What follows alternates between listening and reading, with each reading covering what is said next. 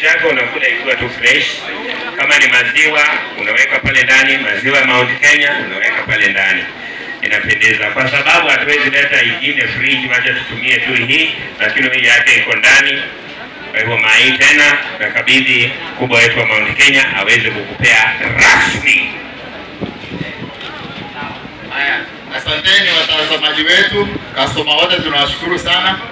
Tuko na nafasi nzuri sana ya kumkabili mshindi wetu wa leo Ketias Shota, Shota tukishirikiana na Mount Kenya Milk Friends. Shangwe, nduru na vigeregere anapopokea, ndio tuonyeshane mtindo mzuri kwa customer. Tukiingia kufanya shopping, tunahakikisha tuna participate kwa draw kama hizi. Tupige nduru. Mount Kenya